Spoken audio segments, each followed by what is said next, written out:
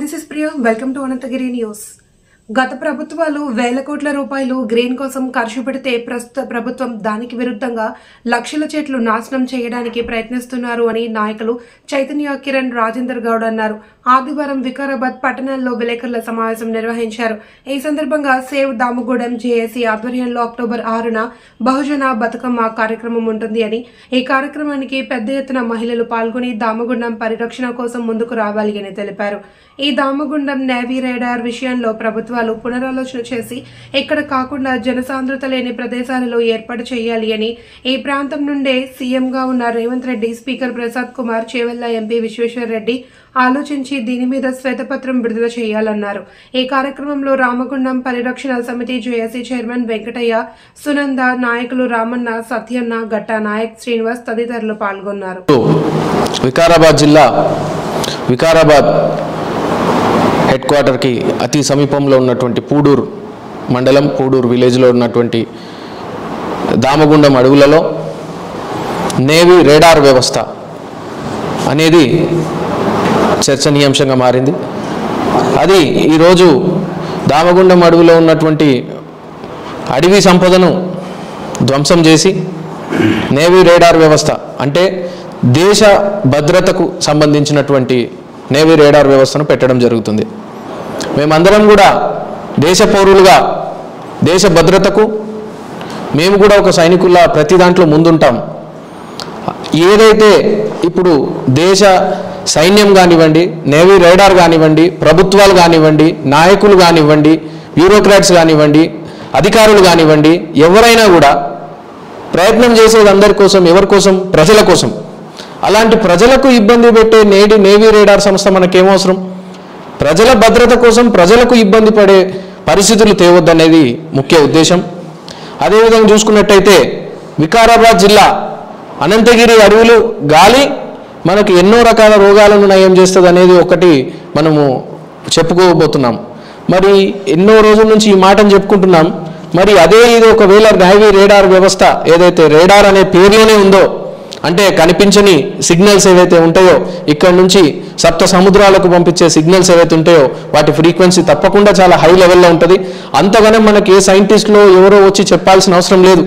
మనం మినిమంగా కామన్గా ఆలోచన చేస్తే మన ఇంటి మీద ఉన్నటువంటి సెల్ టవర్లు కానివ్వండి మన దగ్గర ఉన్నటువంటి సెల్ ఫోన్లు కానివ్వండి వీటితోటే రకరకాల రోగాలు మనకు తెలియకుండా చాలా వస్తున్నాయి. మనకు మహమ్మారి మొన్ననే కరోనా చూసినాం. అప్పుడు ఎన్ని ప్రాణాలు పోయినాయి? మరి నిన్న కాకమున్న ప్రకృతి విధ్వంసం ప్రకృతికి మనము కన్నెర చే చేపిస్తే ప్రకృతి విధ్వంసాలకు మనము తట్టుకోలేం. మొన్న జరిగినటువంటి వాయనాడు కానివ్వండి వాయనాడులో ఏదైతే చూసినామో అలాంటి విధ్వంసాలు ఏవి కూడా జరగొద్దనేది మరి ఇక్కడున్న ప్రకృతి ప్రేమికులందరూ కూడా ఏకమై అందరూ కూడా దీన్ని నేవీ రేడార్ వ్యవస్థను అడ్డుకోవట్లేదు. దీన్ని పునఃపరిశీలించాలని కోరుకుంటున్నారు ఈ దామగుండం అడవులలో పెట్టకుండా అదే తెలంగాణలోనే పెట్టాలి ఈ డెక్కన్ ప్లాటూలోనే పెట్టాలి ఈ రీజన్లోనే పెట్టాలి అన్నప్పుడు మరి పక్కలకు అడవులు లేని ఎక్కడ ఎన్ని లక్షల కోట్లు పెట్టినా కూడా ఒక మొక్కను కూడా పెంచుకోలేని పరిస్థితులు ఉన్నటువంటి నేలలు కూడా మన తెలంగాణలో ఉన్నాయి. పక్కకే పక్క జిల్లాలు చూసుకుంటే అక్కడ ఈ నేవీ రేడారు ఏదైతే అనుకుంటున్నారో వాటిని అక్కడికి పునఃపరిశీలించి షిఫ్ట్ చేసే కార్యక్రమం చేసుకోవాలనేది మనస్ఫూర్తి కోరుకుంటున్నాను. అయితే జిల్లా వాసులకు ముఖ్యంగా నేను మిమ్మల్ని రిక్వెస్ట్ చేసేది ఏంటంటే ప్రతి ఉద్యమం కూడా తెలంగాణ ఉద్యమమే కానివ్వండి తెలంగాణ ఉద్యమంలో ముందున్న వాళ్ళందరికీ కూడా దాన్ని నీరు గార్చనికే ఏవో శక్తులు వచ్చినాయి. వీటిని మొత్తం న్యూట్రలైజ్ చేయాలి. ఏదో డబ్బుల కోసం ఆశ ఆశించి ఇవందరూ ముంగలకు వచ్చి పని చేస్తుర్రు. అది ఇది అని బద్నాం చేసుడు నీరు గార్చే పరి ప్రయత్నాలు తప్పకుండా ప్రతి దాంట్లో ఉంటాయి. ఏదైనా కూడా ఇప్పుడు అమృతం రావాలంటే కూడా ముందు విషయమే వస్తుంది.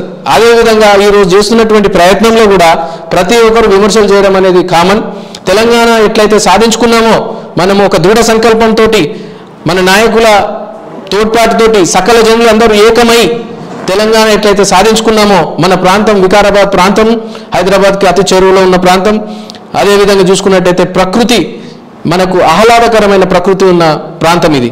ఒక చెట్టుని నాటడం ఎంత ముఖ్యమో ఒక చెట్టును నాటడం కన్నా వెయ్యి ఏండ్ల చెట్లను నరకడం చాలా ఇర్రిపేరబుల్ లాస్ మనకు వస్తుందని నేను కోరుకుంటున్నాను. అందుకు సకల జనులందరూ ఏకమై ఈ యొక్క నేవీ రేడార్ వ్యవస్థపై మనము మనము ప్రియతమ ప్రధానమంత్రి గారికి లేఖలు రాయడమా? మరి అక్కగారు పిలిపించినట్టు బతుకమ్మతోటి మన యొక్క నిరసనను తెలపడం ఇలాంటి కార్యక్రమాలు అన్నీ చేసి కూడా మళ్ళొక్కసారి గవర్నమెంట్ పునరాలోచన చేసే విధంగా మన యొక్క ప్రణాళికలు ఉండాలని ప్రతి ఒక్కరూ జిల్లా వాసులు రాష్ట్ర వాసులు దే దేశంలో ఉన్న ప్రముఖులు ప్రకృతి ప్రేమికులు అందరూ కూడా మొన్న దామగుండం సేవ్ దామగుండం అనే ఇందిరా పార్క్ ధర్నా చౌక్లో జరిగినటువంటి ధర్నాకు అందరూ వచ్చి వాళ్ళ యొక్క సపోర్ట్ తెలియజేయడం జరిగింది. మనం మనం మనం ఈ ప్రాంతంలో ఉన్న వాసులుగా ముఖ్యంగా యువకులు ఈరోజు దేశ జనాభాలో అరవై ఐదు శాతం ఉన్నటువంటి మనం మనం తప్పకుండా కదిలితేనే అవుతుంది అందుకు ఇక్కడ ఉన్నటువంటి కాలేజీలో స్కూల్స్ డిగ్రీ కాలేజీలు మనకు యువకులు ఎవరున్నారు కూడా అందరూ కూడా కలిసికట్టుగా ముందుకు రావాలని ఈ యొక్క మహత్ కార్యాన్ని మన ప్రకృతిని మనం కాపాడుకోవాలి. మన మన ప్రాంతంలో ఇప్పుడు నేవీ రడార్తో వచ్చే డెవలప్మెంట్ కన్నా దాంతో సైడ్ ఎఫెక్ట్స్ కానీ మనకు నష్టం కానీ చాలా ఉంది. ఇట్లా ప్రకృతి లేని సా- ఏరియాలోకి ఇది షిఫ్ట్ చేయాలని కోరుకుంటూ వీటికి అందరూ అందరూ సహకరిస్తున్న వాళ్ళందరికీ నా మనస్ఫూర్తిగా కృతజ్ఞతలు తెలుపుకుంటున్నాను. అందరికీ నమస్తలు తెలుపుతూ ఇవాళ save Damagundam save forest JAC political JAC ఆధ్వర్యంలో వెంకటయ్య గౌ వెంకటయ్య గారు జేఏసీ చైర్మన్గా అదే అదేవిధంగా సునంద గారు మరియు రామన్న గారు వీరి ఆధ్వర్యంలో జరుగుతున్న సేవ్ దామగుండం సేవ్ ఫారెస్ట్కు వచ్చిన పాత్రికేయ మిత్రులకు అందరికీ కూడా నమస్తలు తెలుపుతూ ఇవాళ మనం చూస్తూ ఉన్నాం పన్నెండు లక్షల చెట్లను దామగుండం అడవి యొక్క పరిరక్షణ కొరకు ఈ యొక్క కార్యక్రమం చేపడతా ఉన్నాం. ఈ యొక్క ఇష్యూ ఒక దామగుండంలో లేకపోతే ఈ వికారాబాద్ ప్రాంతంలో పరిగి నియోజకవర్గంలో లేకపోతే ఈ రాష్ట్రంలో కాదు ఈ జాతీయంది కాదు ఇది అంతర్జాతీయ ఇష్యూ అని కూడా నేను మరొక్కసారి కూడా తెలుపుతూ ఉన్నాను. ఈ యొక్క ఇష్యూ లోపల నేను ప్రధానంగా ఇప్పటికే మాట్లాడిన పెద్దలు వక్తలందరూ కూడా చాలా స్పష్టంగా చెప్పారు దాని యొక్క దాని యొక్క నష్టాల గురించి. కాబట్టి నేను స్పష్టంగా సూటిగా ఈ రాష్ట్ర ప్రభుత్వాన్ని నేను కొడతా ఉన్నా. గవర్నమెంట్ అనేది ప్రజల యొక్క సంక్షేమం కొరకు ఎన్నో పాలసీస్ తెస్తుంది. పర్వాలేదు ఆ పాలసీస్ని ప్రతి ఒక్కరం కూడా ఆ సంక్షేమం కొరకు స్వాగతిస్తాం. కానీ ఆ పాలసీస్ లోపల నష్టం జరిగితే ఖచ్చితంగా కూడా దాన్ని వ్యతిరేకిస్తాం. కాబట్టి ఈ ఈ యొక్క నష్టం ఈ యొక్క ప్రాంతానికే కాదు ఈ దేశానికి ఈ రాష్ట్రానికి అని కూడా నేను చాలా స్పష్టంగా చెప్తా ఉన్నా. ఈ జిల్లావాసి అయిన రేవంత్ రెడ్డి గారికి అదేవిధంగా స్థానికంగా ఉన్న స్పీకర్ గారికి ఇద్దరు కూడా చాలా పెద్ద పదవులలో ఈ ప్రాంతం నుంచి ఉన్నారు కాబట్టి ఈ ప్రాంతానికే కాదు మనం ఇండైరెక్ట్గా ఈ జాతికి కూడా చాలా నష్టం చేస్తూ ఉన్నామని కూడా ఈ సందర్భంగా నేను గుర్తు చేస్తూ ఉన్నా. నేను ఇంకొక విషయం ఇవాళ మనము మనము గత ఇరవై సంవత్సరాలుగా ముప్పై సంవత్సరాలుగా కూడా తీసుకుంటే ఒక ఎన్టీ రామారావు గారి గవర్నమెంట్ నుంచి మొదలు పెడితే మనకు అవగాహన ఉన్న మేరకు అట్లా ఎన్టీ రామారావు గారు చంద్రబాబు నాయుడు గారు కిరణ్ కుమార్ రెడ్డి గారు రోషయ్య గారు లేకపోతే నిన్నగాక మొన్న ఉన్న కేసీఆర్ గారు ఇప్పుడున్న రేవంత్ రెడ్డి గారు కూడా కావచ్చు. గత ముప్పై సంవత్సరాలుగా కూడా ప్రభుత్వాలు ఎప్పుడు కూడా జూన్ మాసం వచ్చినప్పుడు హరితహారం అనొచ్చు లేకపోతే గ్రీన్ కింద కొన్ని స్కీమ్స్ తీసుకొని కొన్ని వందల కోట్లు వేల కోట్లు ఖర్చు పెడుతున్న సందర్భం ఉన్నది. మరి ఎన్ని వందల కోట్లు వేల కోట్లు లేని గ్రీన్ కొరకు మనము ఖర్చు చేస్తున్నప్పుడు ఆల్రెడీ ఉన్న గ్రీన్ని ఎందుకు కాపాడుకోలేకపోతున్నాం? నేను ఇవాళ ఇవాళ ఈ ప్రాంతంలో ఉన్న ప్రజలకు కూడా నేను అడుగుతా ఉన్నా మనం ఒక్క చెట్టు ఒక్క చెట్టు పెడితే ఆ చెట్టును పెంచడానికే మనం ఎంత కష్టం చేయాల్సి వస్తూ ఉన్నది? రోజు నీళ్ళు పెట్టడం కావచ్చు లేకపోతే ఎరువులు వేయటం కావచ్చు ఒక పది సంవత్సరాలు దాన్ని చాలా స్పష్టంగా చాలా స్పష్టంగా కాపాడుకుంటే తప్ప ఆ చెట్టు పెరగలేని పరిస్థితి కూడా ఉన్నది. మరి అంత కష్టం మనం ఒక్క చెట్టు కొరకు పడితే ఇవాళ పన్నెండు లక్షల చెట్లున్నాయి.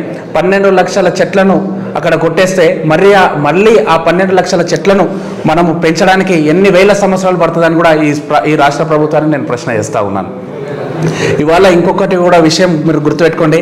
ఏదైనా ప్రాజెక్టు ఏదైనా ప్రాజెక్ట్ వచ్చినప్పుడు ఆ ప్రాజెక్ట్ యొక్క లాభాలను అదేవిధంగా ఆ ప్రాజెక్ట్ యొక్క నష్టాల గురించి ప్రభుత్వం చాలా క్లియర్గా కూడా రిపోర్ట్ ఇవ్వాల్సిన అవసరం ఉన్నది. మరి ఇవాళ పన్నెండు లక్షల చెట్లు ఉన్నప్పుడు దామగుండెము ఈ అనంతగిరి యొక్క వాతావరణం ఈ విధంగా ఉన్నది. మరి ఆ యొక్క ప్రాజెక్టు పూర్తి అయిపోయిన తర్వాత ఇక్కడ ఉన్న వాతావరణం ఏ విధంగా మారుతుందన్న రిపోర్ట్ మీరు ఇచ్చిరా అని చెప్పి కూడా నేను ఈ ప్రాంతంలో ఉన్న అధికారులను అదేవిధంగా ప్రభుత్వాన్ని నేను కోర నేను డిమాండ్ చేస్తూ ఉన్నాను. మరి ఇప్పుడున్న వాతావరణం రేపు ప్రాజెక్ట్ పూర్తయిన తర్వాత ఉంటుందా అని కూడా మీరు చాలా స్పష్టంగా చెప్పాలి. రేపు ప్రాజెక్ట్ పూర్తయిన తర్వాత ఉండే వాతావరణం పట్ల ఈ ప్రా ఈ ప్రాంతంలో ఉన్న ప్రజలకు మీరు పూర్తి స్థాయిలో రిపోర్ట్ ఇవ్వాలని కూడా నేను డిమాండ్ చేస్తూ ఉన్నా. మరి ఇంకొక విషయం ఇవాళ ఇవాళ పొల్యూషన్ బోర్డు కానీ ఎన్విరాన్మెంటల్ క్లియరెన్స్ కానీ ఏ విధంగా వాళ్ళు రిపోర్ట్స్ ఇచ్చినారు అని చెప్పి కూడా నేను ప్రశ్నిస్తూ ఉన్నా. మరి పబ్లిక్ హియరెన్స్ అయిందని చెప్తా ఉన్నారు. మరి పబ్లిక్ హియరెన్స్ లోపల అక్కడ ఉన్న పూడూరు మండల గ్రామ గ్రామంలోని ప్రజలను ఇన్వాల్వ్ చేసిరా? లేకపోతే జిల్లా ప్రజలను ఇన్వాల్వ్ చేసిరా? లేకపోతే ఎన్విరాన్మెంటల్ గురించి క్లైమేట్ రీసెర్చర్స్ని మీరు ఇన్వాల్వ్ చేసిరా మరి ఎవరు ఎవరి ఎవరి అనుమతి ప్రకారం ఎవరు ఈ యొక్క పబ్లిక్ ఈవెంట్స్ లోపల పార్టిసిపేట్ చేసిరో కూడా మీరు ఈ యొక్క శ్వేతపత్రం ద్వారా ఇక్కడ ఉన్న ప్రాంతంలో ఉన్న ప్రజలకు మీరు చెప్పాలని కూడా నేను డిమాండ్ చేస్తా ఉన్నా. మరి ఏ విధంగా ఇవ్వకుండా మీరు రాత్రికి రాత్రి అన్ని రిపోర్ట్స్ కూడా వచ్చేసినాయి. ఎన్విరాన్మెంటల్ క్లియరెన్స్ వచ్చింది పొల్యూషన్ బోర్డ్ క్లియరెన్స్ వచ్చింది పబ్లిక్ క్లియరెన్స్ అయిపోయిందని చెప్పి ఏ విధంగా మీరు ఏ విధంగా మీరు చెప్తా ఉన్నారని కూడా నేను ఈ సందర్భంగా ప్రశ్నిస్తా ఉన్నా. కాబట్టి ఒక మనిషి పుట్టినప్పుడు ఒక మనిషి పుట్టినప్పుడు తల్లిదండ్రులు వానికి ఆస్తి అయితే ఈ జాతీయ రాజ్యాంగం కల్పించిన ఆస్తి ఈ ప్రాంతంలో ఉన్న అడవులు ఈ సమాజం ఇవన్నీ కూడా మనిషికి పుట్టుకతోనే వచ్చిన ఆస్తులు కాబట్టి ఇక్కడ ఉన్న జిల్లా ప్రజలు అదేవిధంగా పోడూరు మండల గ్రామస్తులు పరిగి నియోజకవర్గం వికారాబాద్ జిల్లా అదేవిధంగా తెలంగాణ రాష్ట్ర ప్రజలు చాలా స్పష్టంగా మీరు అర్థం చేసుకోవాల్సిన అవసరం ఉన్నది.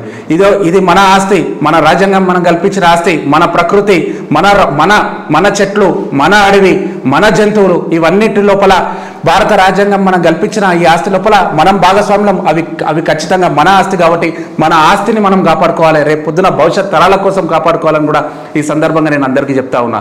రేపు ఈ జేఏసీ ఆధ్వర్యం లోపల అక్టోబర్ ఆరు తారీఖు నాడు బతుకమ్మ ప్రోగ్రాం పెట్టినారు. కాబట్టి ఈ ప్రాంతంలో ఉన్న మహిళలందరూ కూడా ఆ బతుకమ్మ ప్రోగ్రాంకి వచ్చి మన యొక్క యూనిటీ మన యొక్క ఐక్యతను మన యొక్క దామగుండం పట్ల ఈ దామగుండం అనంతగిరి అడవుల సంరక్షణ కొరకు మన యొక్క బాధ్యతను మనము నిరూపించుకోవాలని చెప్పి ఈ ప్రాంతంలో ఉన్న మహిళా సోదరులకందరికీ కూడా నేను కోరుతా ఉన్నా. అదేవిధంగా మా ఇంట్లో ఉన్న ఒక మహిళ ఈ ప్రాంతం నుంచి కౌన్సిలర్గా ఉన్నారు. వారి వారు కూడా నాకు చాలా స్పష్టంగా మాట్లాడారు మాట్లాడినప్పుడు ఈ యొక్క అడవులను కాపాడుకున్న బాధ్యత మనకున్నది. ఒక మహిళగా నాకు కూడా బాధ్యత ఉన్నది. సునంద ఆంటీ గారు తెలంగాణ ఉద్యమం నుంచి ఉన్నారు. కాబట్టి ఆంటీ గారికి నేను సపోర్ట్ ఇస్తాను కూడా వారు చెప్పడం జరిగింది. ఆ చెప్పడమే కాదు ఆ విమలక్క గారి ప్రోగ్రాం లోపల అక్టోబర్ ఆరు తారీఖు నాడు జరిగే ప్రోగ్రాం లోపల ఒకవేళ రాజీనామా అన్న ప్రక్రియ మొదలు పెడితే కూడా ఆ యొక్క మహిళగా కౌన్సిలర్గా మా యొక్క వదిన రాజీనామా పత్రాన్ని కూడా ఈ యొక్క జేఎస్సీకి అందజేసి ఈ యొక్క ప్రాంతం పట్ల ప్రతి ఒక్కరికి కూడా బాధ్యత ఉన్నదని చెప్పి కూడా నిరూపించుకుంటాం. ప్రభుత్వాన్ని డిమాండ్ చేస్తాం. మేము ఇక్కడ నుంచి పొలిటికల్ జేఎస్ నుంచి నేను నేను అడుగుతా నేను వారిని కూడా కొడతా ఉన్నా. గవర్నర్ గారికి పెట్టండి. గవర్నర్ గారిని కూడా కలుద్దాం. దాని లోపల నాగేందర్ గౌడ్ గారి కుటుంబం తరపుకెళ్ళి మా సహకారం ఉంటుందని కూడా వారికి నేను మాట ఇస్తా ఉన్నా.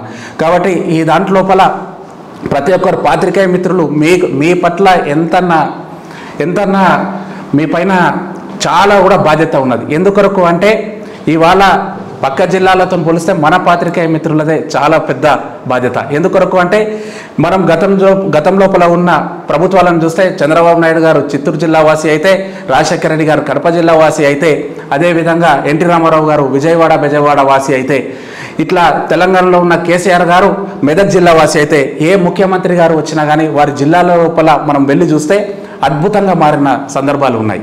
కాబట్టి మీరు ప్రతి ఒక్క ప్రాబ్లంని మీరు హైలైట్గా పేపర్ల లోపల పేపర్ల లోపల లేకపోతే మీ ఒక ఛానల్స్ లోపల హైలైట్గా దీన్ని ప్రసారం చేస్తే మన ప్రాబ్లం డెఫినెట్లీ ముఖ్యమంత్రి వరకు రీచ్ అవుతుంది కాబట్టి దాని పట్ల మనకు చాలా సానుకూలమైన రిజల్ట్స్ వస్తాయి కాబట్టి మీరు ఈ యొక్క బాధ్యతను చాలా చాలా కూడా స్పష్టంగా మీరు చేయాలని కూడా నేను గుర్తు చేస్తా ఉన్నా. గుర్తు చేస్తూ ఈ యొక్క జేఏసీకి నేను కంప్లీట్గా మద్దతు పలుకుతూ సెలవు తీసుకుంటా ఉన్నాను. అందరికీ నమస్కారం. నా పేరు సునంద బుగ్గన యాదవ్. ఈరోజు సేవ్ దామకుండం జేఏసీ ఆధ్వర్యంలో ఈ ప్రెస్ మీట్ జరుగుతుంది. ఈరోజు ఏదైతే ప్రభుత్వం తీసుకొచ్చిన రాడర్ నావీ రాడర్ వల్ల ఈ ప్రాంతంలో ఏ విధంగా మరి ప్రజలు నష్టపోతారు రేపు ఏ విధంగా మరి ఇక్కడ ఎలాంటి పరిస్థితి ఏర్పడుతుందో ఎవ్వరికి కూడా ఇక్కడ చుట్టుపక్కల ప్రజలకైనా ఎవరికైనా ఎలాంటి అవగాహన లేకుండా ఎవ్వరి అనుమతి లేకుండా ఎవ్వరి అభిప్రాయాలు కూడా వాళ్ళు తీసుకోకుండా ఈరోజు వాళ్ళు ఏ ఎలాంటి విషయం కూడా ఎవరికి తెలియదు. పది సంవత్సరాల క్రితం ఏర్పడిన ఈ రో శాంక్షన్ అయింది అని ఆ రోజు రామ్మోహన్ రెడ్డి అయితే చేసిండో అది ఈరోజు తను గెలవంగానే పదిహేను రోజులనే ఇది ప్రారంభించడం జరిగింది. మరి ఈ వస్తే ఈ రాడర్ వస్తే ఏ విధంగా ఇక్కడ ప్రజల్లో ఇబ్బందులు అవుతాయి. పన్నెండు లక్షల చెట్లను ఈరోజు కొట్టు వేస్తామని వాళ్ళు బాజారు చెప్తున్నారు. పన్నెండు వందల లక్ష చెట్లను కొట్టేసి మేము పదిహేడు లక్షలు పెడతామని చెప్తున్నారు. వేల సంవత్సరాల వయసున్న చెట్లు ఉన్నాయి అక్కడ. అక్కడ ఈ చెట్ల వల్ల ఊటలు ఏర్పడి ఆ నీళ్ళు మూసి ఈజీ నదులకు మరి ఈరోజు హైదరాబాద్ కూడా ఈ నీళ్ళు పోవడం జరుగుతుంది. మరి ఇట్లాంటి ఔషధ గల చెట్లు ఉన్నాయి. అక్కడ ఎన్నో జీవరాశులు ఉన్నాయి. జింకలు మరి నెమళ్ళు ఎన్నో పక్షాదులు ఇవన్నీ ఉన్నాయి. వాళ్ళు ఏమని చెప్తున్నారంటే అప్పుడు కోర్టులో కేసు వేసినప్పుడు ఇది ఇక్కడ గడ్డి గడ్డి తప్ప ఎలాంటి చెట్లు లేవని ఆ రోజు కోర్టు పర్మిషన్ ఉంటుంది దానికి దానికి అనుగుణంగా మన వాళ్ళు కూడా ఆడ పిటిషన్ వేసి ఇక్కడ పెద్ద ఎత్తున చెట్లు ఉన్నాయి. ఈ ఇట్లాంటిది ఉందని ఆ రోజు మరి ఇవ్వడం వల్ల ఆ మన కేసీఆర్ ప్రభుత్వం ఉన్నప్పుడు ఆ ఫైల్ ఆపేయడం జరిగింది. మరి అట్లా జరుగుతున్న క్రమంలో ఈ రోజు కాంగ్రెస్ గవర్నమెంట్ రాగానే కేంద్రం ఒప్పందం తీసుకొని వాళ్ళ స్వార్థం కోసము ఇక్కడ నావిరాడని ఏర్పాటు చేయాలని వాళ్ళు ఫిక్స్ అవ్వడం జరిగింది. ఎందుకంటే ఎక్కడో మరి సముద్రాలు ఉన్నాయి. అక్కడ ఏదైతే ఆ, ఉన్నదో అక్కడ మరి ఈరోజు నావిరాడని పెట్టకుండా వేల కిలోమీటర్ల దూరంలో ఉన్న ఈ రామగుండ దేవస్థానంలో పెట్టడం ఎంత అమానుషం అంటే ఈరోజు అసలు ఎందుకంటే ఈరోజు మనము సెల్ సెల్లునే మనం పక్కన పెట్టుకోవట్లేదు. ఈ సెల్ టవర్ వల్ల? ఈరోజు చూద్దామంటే ఊర్లలో కూడా ఎలాంటి పక్షులు కనబడట్లేదు. ఇట్లా పిట్ట అనేది ఒక పక్షి ఉంటుంది.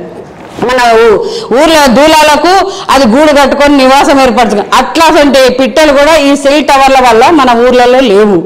మరి ఇట్లాంటి సెల్ టవర్ల వల్లనే ఇంత ప్రభావితం అయింది మనకు. పక్షాదు లేకుండా పోయింది. అందరికీ సెల్ టవర్ ఇంటి మీద ఆ డిష్ పెడితే నెత్తి నొప్పులు ఇట్లాంటివన్నీ వస్తున్నాయి. మరి ఇట్లాంటిది ఇప్పుడు వాళ్ళు ఏం చెప్తున్నారంటే అద్దెకరంత పొడుగు ఆ టవర్ పైకి ఉంటుందంట. అట్టాసంటి టవర్లు ఒక వందలకు పైన ఆ టవర్లు వస్తాయి. ఆ టవర్లు రావడం ద్వారా మరి దాని వైబ్రేషన్ గాలి ద్వారా పంపిస్తారంట వాళ్ళకు సిగ్నల్స్ అందడానికి. మరి భూగర్భం నుండి కూడా వాళ్ళ వైబ్రేషన్స్ అక్కడికి పంపిస్తారంట. మరి ఆ విధంగా ఎట్లా జరుగుతుందో ఏమో అట్లా వైబ్రేషన్ల వల్ల మరి ఈ సెల్ టవర్లతో ఇంత ఇబ్బంది ఉంటే వందలకు పైగా ఉన్న ఆ టవర్ల ద్వారా ఇక్కడ ప్రాంత ప్రజలకు ఏ విధంగా రోగాలు వస్తాయి ఏ విధంగా అయితే కొంతమంది శాస్త్రవేత్తలు అంటున్నారు ఈ రైడ్ రేడియేషన్ వల్ల అక్కడ ఉన్న వాళ్ళకు మొగతనం అనేది ఉండదని వాళ్ళకు పిల్లలు పుట్టే అవకాశం ఉండదు. ఒకవేళ గర్భంలో మరి శిశువు ఉంటే వాళ్ళకు అబ అబార్షన్ అయ్యే అవకాశం ఉంటుంది. మరి క్యాన్సర్ వచ్చే అవ- అవకాశం ఉన్నదని ఇట్లా కొంతమంది శాస్త్రవేత్తలు ఖచ్చితంగా చెప్తున్నారు. మరి ఇట్లాంటిది ఉండగా ఎలాంటి చర్చలు జరగకుండా ఈరోజు ఈ నావిరాడని తీసుకురావడం జరిగింది. మరి ఇట్లా మేము ఇప్పుడు వాళ్ళకి చెప్తున్నాం ప్రభుత్వానికి మీరందరూ కూర్చోండి ఇక్కడున్న ప్రజల్ని పిలిపించండి శాస్త్రవేత్తలు పిలిపించండి మరి విజ్ఞానవంతులను పిలిపివ్వండి మేధావులను పిలిపించి మీరు చర్చలు జరపండి. చర్చలు జరిపి మా ప్రాంతానికి మరి ఈ విధంగా అన్యాయం జరుగుతుంది కాబట్టి మీరు దాన్ని మా ప్రజలకు కూడా మీరు మరి ఏ విధంగా మీరు వాళ్ళ అభిప్రాయాలను మీ ఏదైతే రాడర్ వస్తే మాకేం లాభం వస్తుంది అనేది ఈ రోజు వాళ్ళు అంటున్నారు. రాడర్ వస్తే ఇక్కడ స్కూల్ డెవలప్మెంట్ అవుతుంది పెద్ద బిల్డింగ్లు కట్టుకుంటారు. ఈ రాడర్ వస్తే కనుక అక్కడ ఎవరైతే ఈ రాడర్ ఏర్పాటు చేస్తున్నారో నావికి సంబంధించిన వాళ్ళు ఇక్కడే బిల్డింగ్లు కట్టుకొని మరి ఇక్కడే ఉంటారని చెప్తున్నారు కానీ అక్కడ ఎవ్వరూ ఉండరు. నావి రాడర్ ఏదైతే సిగ్నల్స్ ఉన్నాయో సిగ్నల్ ద్వారానే వాళ్ళు అక్కడికి ఎక్కడ ఉంటారు. కానీ ఆ ఏర్పాటు చేసినాక ఒక్క మనిషి కూడా ఆ వాచ్మెన్ కూడా అక్కడ ఉండే పరిశక్తి ఉండదు. ఎందుకంటే పక్కన ఊర్లో ఉన్న వాళ్ళం కూడా రేపటి నాటికి ఆ వైబ్రేషన్ శబ్దాల వల్ల మనమంతా కూడా ఇప్పుడైతే పూడూరు ఉందో చుట్టుపక్కల అన్ని గ్రామాలు కూడా ఖాళీ చేసి ఎవరం వాళ్ళం వెళ్ళిపోవాల్సి వస్తుంది. అలాంటి పరిస్థితి వస్తుంది కాబట్టి ప్రతి ఒక్కరు కూడా ఆలోచించుకొని ఈ రాడని మనం ఆపాల్సిన పెద్ద ఉద్యమం చేయాల్సిన అవసరం ఉంది. మరి అదే విధంగా ఆ ఈ ఉద్యమంలో భాగమే ఈరోజు బహుజన బతుకమ్మ. ఎందుకంటే అడవికి బతుకమ్మకు చాలా అవి అవినాభావ సంబంధం ఉంటుంది. మరి ఈ వర్షాలు పడి మరి పచ్చగా ఉండాలి పంట పొలాలు అని ఈ గౌరమ్మ తల్లిని మనం పూజించుకొని పువ్వులతోటి పూజించుకొని ఉన్న మన ఊర్లో ఉన్న ప్రతి ఒక్కరు కూడా పసిడి పంటలతో చల్లగా ఉండాలని ఈ బతుకమ్మ అది ఏర్పాటు చేసుకుంటారు. దీన్ని ఈ రా ఈ న్యావి రాయడం నిరసిస్తూ మరి ఆదివారం రోజు మరి ఆరో తారీఖు నాడు ఇది కూడా బతుకమ్మ ప్రోగ్రామ్ని విమలక్క ఆధ్వర్యంలో పెద్ద ఎత్తున జరిపిస్తాం కాబట్టి దీనికి కూడా అధిక సంఖ్యలో మహిళలు అందరూ పాల్గొని ఈ బతుకమ్మను కూడా విజయవంతం చేయాలని కోరుకుంటున్నాం. దామగుండం అడవులను పరిరక్షించుకోవాలని చెప్పి గత రెండు వేల పద్నాలుగు నుండి మాకు ఇక్కడ ఉన్నటువంటి వికారాబాద్ జిల్లాలో ఉన్నటువంటి పెండాల అనంతన్న మురళీధర్ దేశపాండే వీళ్ళిద్దరే వచ్చి అక్కడ మాకు చెప్పి మమ్మల్ని పిలుచుకొని ఒక సమావేశం ఏర్పాటు చేసి దీనివల్ల అనర్థాలు ఉన్నాయని చెప్పి చెప్పడం వల్ల మేము కూడా కొద్దిగా పట్టించుకున్నట్టు ఉన్నాం. వీళ్ళు ఏదో మీటింగ్లు తీసుకుంటారని అనుకున్నాం స్టార్టింగ్లో. తర్వాత చూస్తే పర్యావరణ శాస్త్రవేత్తలు పురుషోత్తం రెడ్డి సార్ వచ్చిన తర్వాత పురుషోత్తం రెడ్డి సారు మాటలు విన్న తర్వాత మాకు అప్పుడు అనిపించింది అరే ఇది చాలా ప్రమాదం పోతుందని ఆ రోజు నుండి మేము ఈ పరిరక్షించడం కోసం అడవులను పరిరక్షించడం కోసం పనిచేస్తూ ఉన్నాం. తర్వాత సుబ్బారావు సార్ని తీసుకొచ్చినాం. పర్- ఆయన కూడా పర్యావరణ శాస్త్రవేత్త. తర్వాత అన్వర్ సార్ని తీసుకొచ్చినాం. తర్వాత చెరుకు సుధాకర్ అన్నతో కూడా ఒక మీటింగ్ పెట్టడం జరిగింది. ఇవన్నీ పెట్టిన తర్వాత ఏమైందంటే వాళ్ళు మెల్లమెల్లగా అనుమతులు తీసుకుంటారనే ఒక స్టార్ట్ ఎప్పుడైతే అయిందో అయిన తర్వాత మేము ఏం చేసామంటే కోర్టుకు కూడా పోయినాం. హైకోర్టును మా అప్పుడు ఏం చేసామంటే దామగుండం అడవి పరిరక్షణ సమితి జేఏసీ అని ఏర్పాటు చేసి జేఏసీ చైర్మన్గా మురళీధర్ దేశపాండే గారిని పెట్టి ఆయన పేరు మీదనే మేము కోర్టుకు పోయినాం హైకోర్టుకు పోయినాం. పోయి అక్కడ అడ్వకేట్ కూడా రచనారెడ్డి అని చెప్పి రచనను పెట్టినాం. పెట్టిన తర్వాత ఆమె కొన్ని రోజులు స్టేటస్కో వచ్చింది దాని మీద. వాళ్ళు కష్టపడి స్టేటస్కో వచ్చి అప్పుడు గవర్నమెంట్ ఏం చేయలేకపోయింది హైకోర్టులో స్టేటస్కో వచ్చింది. మళ్ళా స్టేటస్కో వచ్చిన తర్వాత రెండు వేల ఇరవై ఒకటిలో స్టేటస్కో వెకెట్ అయింది. స్టేటస్కో వెకెట్ అయిన తర్వాత ఇంకేముంటుంది అందులో కేసు వెకెట్ అయినాక ఏం చేశానంటే చెట్లు కొడుతున్నారు అందులో పన్నెండు లక్షల చెట్లు ఉన్నాయని చెప్పి ఆ చెట్ల కోసం ఒక అయ్యే పిటిషన్ వేసాం చెట్లు కొట్టొద్దని. చెట్లు కొట్టొద్దని అయ్యే పిటిషన్ వేస్తే ఏమైందంటే అడ్వకేట్లు వాళ్ళు ఏం చేసిండ్రు ఏముందో లోపల అది తెలియదు మాకు. అయ్యే పిటిషన్ కూడా వెకెట్ అయింది. మెయిన్ కేసు ఏదైతే ఉన్నదో ఆ కేసు అట్లనే ఉన్నది. మెయిన్ కేసు ఉద్దేశం ఏముందంటే రెండు అంశాలు ఉన్నాయి అందులో. రెండు వేల ఎనిమిది సంవత్సరం వరకు అక్కడ ఉన్నటువంటి నాలుగు వందల డెబ్బై మూడు సర్వే నెంబరు నాలుగు వందల డెబ్బై నాలుగు నాలుగు వందల డెబ్బై ఐదు ఈ సర్వే నెంబర్లన్నీ ఎండోమెంట్ భూములు. అందులో రెండు వేల ఏడు వందల ఎకరాల భూమి మొత్తం దేవునికి సంబంధించింది మొత్తం కలిపితే రెండు వేల తొమ్మిది వందల ఎకరాల భూమి ఈ రెండు వేల తొమ్మిది వందల ఎకరాల భూమిలో రెండు వేల ఏడు వందల ఎకరాల భూమి ఎండోమెంట్కి సంబంధించి ఉన్నది. రెండు వేల ఎనిమిదిలో రికార్డ్ చేంజ్ చేసి అది పారెస్కి అప్పచెప్పడం జరిగింది. ఇది ఒక అంశం ఉన్నది. ఈ ఎండమెంట్ భూములకు ఎండమెంట్ చట్టాలు ఉన్నాయి ఎండమెంట్కి సంబంధించిన అది ఉన్నది. దాన్ని అట్లా మార్చడం జరిగింది. దాని మీద కూడా ఒకటి ఉంది. రెండోది ఏమంటారంటే ఈ అడవులను పరిరక్షించాలి. వారసత్వంగా వస్తున్నటువంటి ఈ వన సంపద ఏదైతే ఉందో అడవులు ప్రకృతి దామగుండం కావచ్చు లేకపోతే అనంతగిరి కొండలు కావచ్చు ఇక్కడ ఉన్నటువంటి విశాలమైనటువంటి ఈ వాతావరణంలో నీకు ఎవ్వరు రోగం వచ్చినా ఏ ప్రాంతం నుండి రోగం వచ్చినా కూడా ఇక్కడ వస్తే గాలి పీల్చుకుంటే కూడా తక్కువ అవకాశం ఉంది. అప్పుడే ఉన్నటువంటి నిజాం నవాబులు పద్దెనిమిది వందల ముప్పై నాలుగులో అన్నతగిరి కొండలలో ఒక టీవీ శానిటేషన్ టీవీకి సంబంధించినటువంటి ఒక హాస్పిటల్ కూడా పెట్టడం జరిగింది. ఆ హాస్పిటల్లో వైద్యం కన్నా ఈ గాలి పీల్చుకుంటే కూడా మంచిగా అయితే అనేది ఒక మంచి వాతావరణం ఉంది మన ప్రాంతానికి. ఇంకొక విషయం ఇక్కడ ఉన్నోళ్ళు అందరూ కూడా గమనించేది ప్రజాప్రతినిధులు అధికారులు గమనించేది మీ అందరికీ కూడా ఒక నమస్కారం చేసి అడుగుతున్నాం మేము. మీరు ఒకసారి పునఃపరిశీలన చేయండి. ఈ ప్రాంతానికి ఉన్నటువంటి ఒక మంచి వాతావరణం ఇది దక్కన్ పీఠభూమి సమతుల్యతో కూడుకొని ఉంటుంది. సమతుల్యత ఎట్లా ఉంటుంది అంటే కొండలు గుట్టలు ఎట్లున్నాయో ఇక్కడ ఎర్రమట్టి ఉంటుంది నల్లమట్టి ఉంటుంది ఇసుక నేలలు ఉంటాయి చౌడు నేలలు ఉంటాయి ఇక్కడనే బండలు వెళ్తాయి ఇక్కడ ఎర్రమట్టి ఉంటుంది మైనింగ్ ఉంటుంది. అంటే సాయంత్రం పూట ఆంధ్ర ఏరియా కానీ అక్కడ మనం మన తెలంగాణ ప్రాంతానికి సంబంధించినటువంటి మనం ఒకవేళ ఖమ్మం సైడ్ ఇట్లా పోతే విపరీతమైన ఉష్ణోగ్రతలు ఉంటాయి. ఆ ఎండ వేడివి తట్టుకోలేము ఆ చెమటకు తట్టుకోలేకపోతాం. ఆంధ్రకు పోయినట్టయితే కూడా విపరీతమైనటువంటి చెమటలు రెండు సార్లు మూడు సార్లు స్నానం చేయాలి. మళ్ళీ అదే మన తన ఉదయం పూట బాగా ఆ, వచ్చుకుంటూ మధ్యాహ్నం బాగా ఎండ ఉన్నదనుకో సాయంత్రం ఆరు ఏడు ఏంటంటే ప్రశాంతంగా ఫ్యాన్లు లేకుండా బయట వండుకోవచ్చు. ఇంత మంచి వాతావరణం మనది. ఇక్కడ వచ్చి నేవీ రాడర్ స్టేషన్ వేయడం వల్ల దాని వండి అక్క చెప్పినట్టు దాని నుండి అనర్థాలు ఎక్కువ ఉన్నాయి కాబట్టి దాని నుండి లాభం లేదు. ఎందుకు లేదంటే అది అమెరికా దేశంలో పంతొమ్మిది వందల ఎనభై తొమ్మిదిలో స్థాపించారు దాన్ని. ఎనభై తొమ్మిదిలో స్థాపించి రన్ చేస్తారు రన్ చేస్తుంటే ఏమైందంటే అక్కడ ఉండే ఆ పరిసరాల్లో ఉండే ప్రజలు వాళ్ళందరూ కూడా ఏం జరిగిందంటే ఈ నరాల బలహీనత వచ్చింది. వాళ్ళకు ఈ ఇదేంటి దురదలు రావడం లేకపోతే వాళ్ళు మెంటల్ మెంటల్ చేయడం లేకపోతే వాళ్ళు పిచ్చిగా తయారు కావడం లేకుంటే వాళ్ళు ఏదో రకంగా అంత పిచ్చిలేసిపోయింది పబ్లిక్ దాన్ని ఆలోచించి ఏం చేసిందంటే కొన్ని రోజుల తర్వాతనే ఉద్యమం స్టార్ట్ చేసి బలమైన ఉద్యమం చేశారు. చేసి ఆ గోడ ఉండే ఆ కంపౌండ్ ఉంటుంది కదా దాన్ని చొచ్చుకొని పోయి దాని మీదకి పోయి ఆ టవర్ల మీద రాళ్ళు ఎత్తేసి అంతా ధ్వంసం చేసింది. ధ్వంసం చేస్తే ఆవిడ చేసినందుకు అక్కడ ఉన్న ప్రభుత్వం ఏం చేసిందంటే వాళ్ళకి శిక్షలు వేసింది.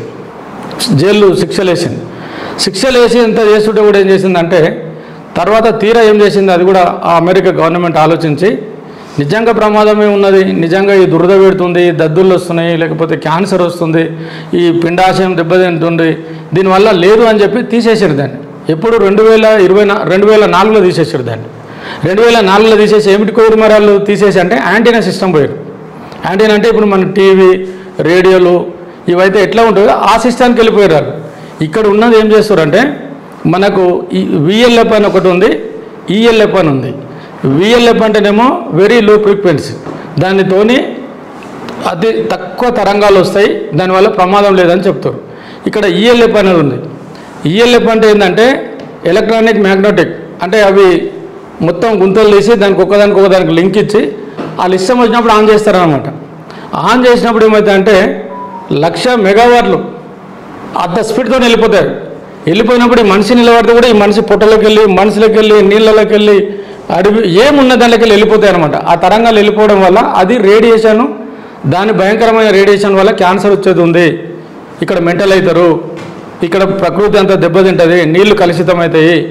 ఈ ఇంత వన సంపద ఉన్నటువంటి ఇంత ప్రకృతి ఇంత బాగున్నటువంటి ఈ ప్రాంతంలో ఏడము ఈ దేశ రక్షణ కోసము నేవీ ఏదైతే ఉన్నదో దానికి వ్యతిరేకం కాము దాన్ని ఎక్కడన్నా రాజస్థాన్ ఎడారి ప్రాంతంలో కానీ మధ్యప్రదేశ్లో అడవులు ఉన్నట్టు కానీ జనసాంద్రత లేనట్టు దగ్గర వేయండి వేసి అక్కడ దేశాన్ని కాపాడండి. మేము దేశ దుర్బలం కాము. దేశము కాపాడుకోవడం మాకు కూడా మేము ముందుండి దేశాన్ని కాపాడే దాంట్లో ముందుంటాము. కాబట్టి ఇప్పుడున్న ఈ పరిస్థితులలో ఇక్కడ ఉన్న ముఖ్యమంత్రి గారు మన జిల్లా వ్యక్తే స్పీకర్ గారు మన మన జిల్లా వ్యక్తే మీరు ఒకసారి పునఃపరిశీలన చేసి మీరు మేధావి వర్గంతో ఒక చర్చలు జరపండి. మీరు ప్రకృతి ప్రేమికులు ప్రకృతి శాస్త్రవేత్తలు పర్యావరణ శాస్త్రవేత్తలు వీళ్ళందరూ చెప్పే గైడ్లైన్స్ వినండి దయచేసి దీన్ని విరమించుకోవాలి. ఇది ఎందుకంటే ప్రజలముగా ఒక పది సంవత్సరాల నుండి స్వచ్ఛందంగా పనిచేస్తున్నాం. ఈ- ఆ- చేస్తున్న క్రమంలో చాలామంది ఇలా సోషల్ మీడియా ప్రభావం వల్ల హైదరాబాదు శ్రీకాకుళము దేశము నీకు వేరే దేశాలలో కూడా దీని మీద చర్చకు వచ్చింది.